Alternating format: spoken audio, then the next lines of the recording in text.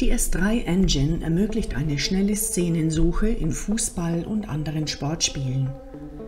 Sie besteht aus einer Szenensuche, einer Szenenbewertung und einer Szenenlösung. Unsere Datenbank umfasst derzeit etwa eine Million Szenen und lässt sich in weniger als einer halben Sekunde durchsuchen. Die Suche basiert auf den Ball- und Spielertrajektorien von offiziellen Tracking-Daten. Ein vorheriges manuelles Annotieren der Daten mit Events ist für die Suche daher nicht notwendig.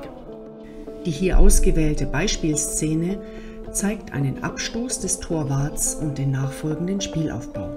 Als Suchergebnis werden die 15 ähnlichsten Szenen zur Ausgangsszene dargestellt.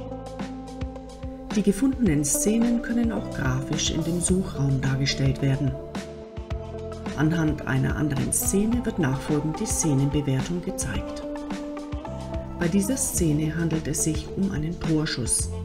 Die obere Grafik zeigt die angreifende Mannschaft in Blau, die verteidigende Mannschaft in Grün sowie in Rot den Ball.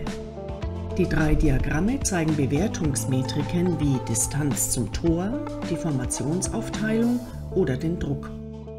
Die untere Animation stellt den Raumbesitz einzelner Spieler der beiden Mannschaften dar. Ebenso kann die S3 Engine mittels KI alternative Szenenlösungen generieren.